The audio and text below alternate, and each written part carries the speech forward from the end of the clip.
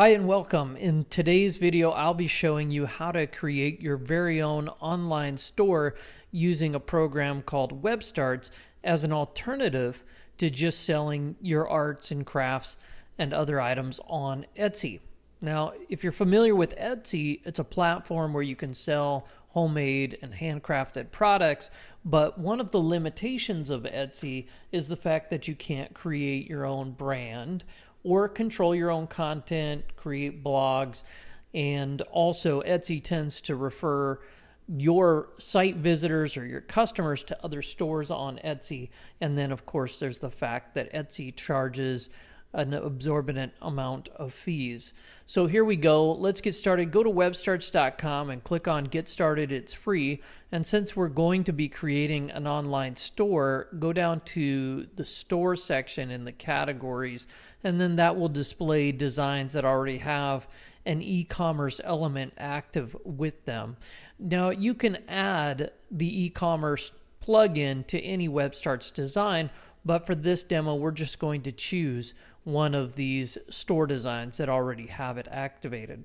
And to do that, just find the design you like and then click select. In this next step, you'll be asked to enter in your name, email address, and choose a password for your account. And once you've done that, click sign up to move on to the next step. You can create a free .webstarts.com address just by entering in any keyword or whatever you'd like here. But if you'd like to use a top level domain name like a .com, .net, .org, or any of these other top level domain names, be sure to enter it here. Just remember that if you're choosing to use a top level domain name with your WebStart site, it will require a paid subscription. If you're not sure what to do, you can always click choose later to choose your web address at a later time. For this demonstration, I'm just going to be using the free.webstarts.com address and I've entered Etsy store and I click continue.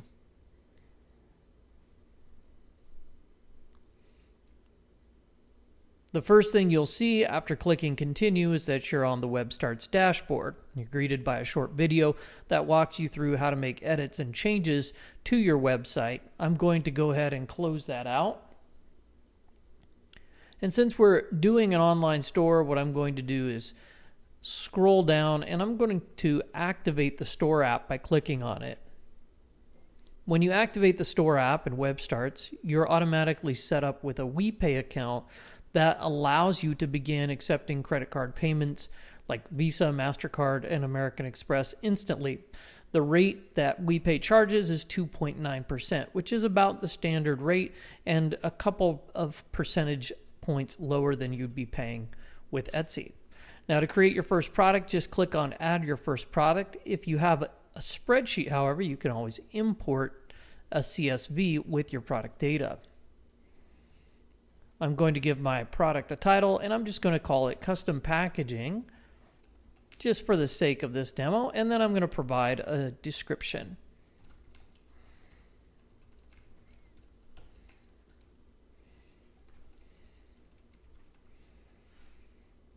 You can then choose to click on the add icon to add an image to your product. And I'm just going to upload one from my local computer. And depending on the size of that image, it could take a few moments to upload. Once your image has been uploaded, you'll see that a thumbnail is displayed. You can click on that and click Add Images, and it will be added to your product creation. You can add additional images by clicking on the icon, or you can add a video by clicking on that icon and then choosing a video from either YouTube, or you can upload your own video. I'm going to skip that step for now. Next, I'm going to give my product a price. You can choose to charge sales tax, and if you want to do that, you can set that up under settings.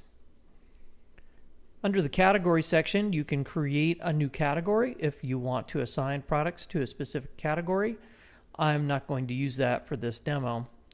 You can enable shipping and enter in your shipping weight. I'm just going to enter one pound. You can choose whether you'd like to hide a product from your store catalog. Let's say, for example, you're having a sell on a specific product and you don't want to offer it in your general catalog. You can send out an email and take people directly to the sale price for that particular item. That's a use case for hide product from store catalog. Clicking on variants, you can set up things like size, color, material, or anything else. This is entirely customizable.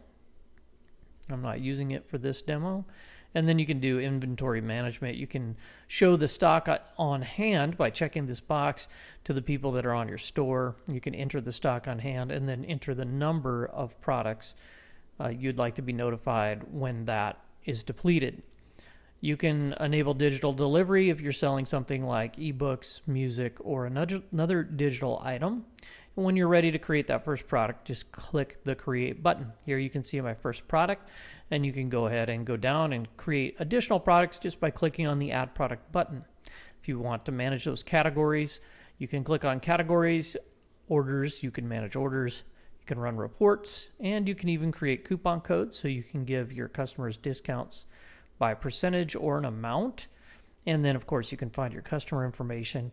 And then under settings is where you can configure your payment options.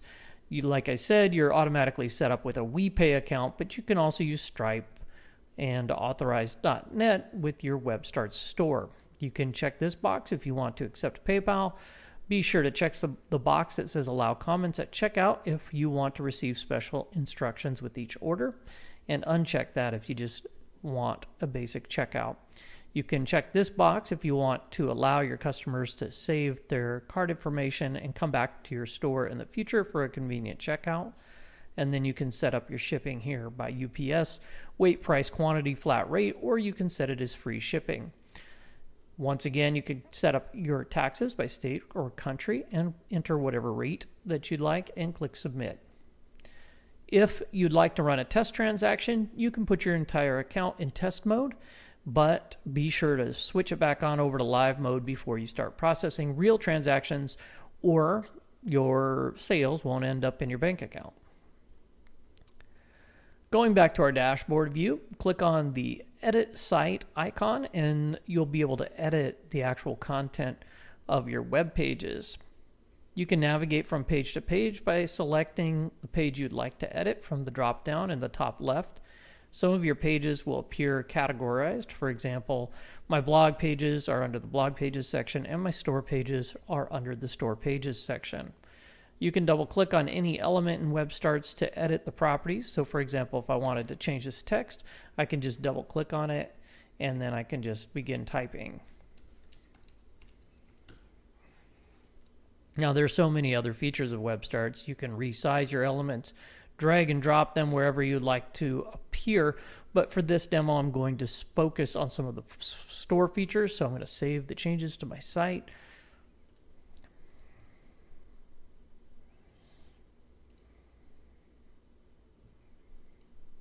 And then I'm going to go over to my store pages. And I'm going to start with my store page itself. And then when I click on the store module and click on the settings icon, I can choose to adjust the number of products set up in each row and each column. I can choose the number of rows I want to display. Since I only have one product, it's really not changing much. You can choose the image scaling aspect ratio and then choose whether you'd like to display categories, product search, and product options in your store. You can do the same thing with the products page, so you can navigate over to the products page. Once again, click on the module, click the settings cog, and then you can see you can choose those options as well. And then likewise, when you're in the cart view. Once again, selecting the module and then clicking the settings icon, I can choose to enable the various sorting options, search, and category list up here at the top of your page, this is called the header. Everything that's in the green highlighted section will remain in the same place at the top of each page where the header is displayed. This gives your site consistency and makes it easier for your visitors to navigate from page to page. Similarly, the bottom section is called the footer, and everything you place in the footer will remain at the bottom of each page. Most of the work that you'll be doing to your website will be done in the middle section, and that's where you can create custom content for each page. Notice that I've added this widget to my header. You can do that by clicking Store, Store Widgets, and then adding a cart widget. By adding that cart widget, it allows people to navigate directly to my checkout and uh, when they've placed products into their bag or their online cart. You can create your own blog to promote your products just by clicking on the blog app. You can click new post. You can add photos to your blog post by clicking anywhere and then just choosing those photos from the file manager. You can do the same thing with videos. And then you can format your text just by typing a little bit and then selecting the text. So for example, I can just type some text and then select it and then I can format it. You can create a mobile view of your website by going into the mobile editor and creating a custom mobile view for each page. And when you're ready to get serious about your website, you can go back and add that domain by clicking Add Domain. And you can either register a new domain name or you can connect a domain name that you already own. If you choose to register a new domain after you pay for your WebStart subscription, your domain name will begin to work with your website automatically. If you're connecting an existing domain name, you'll still need to pay for a WebStart subscription. But after you're done with checkout, you may need to update your DNS, and we can always help you with that. Well, that's it for this video. Thanks for watching, and don't forget to visit webstarts.com to create your very own free online store and figure out a way to brand your Etsy store and save money on those fees. Thanks for watching.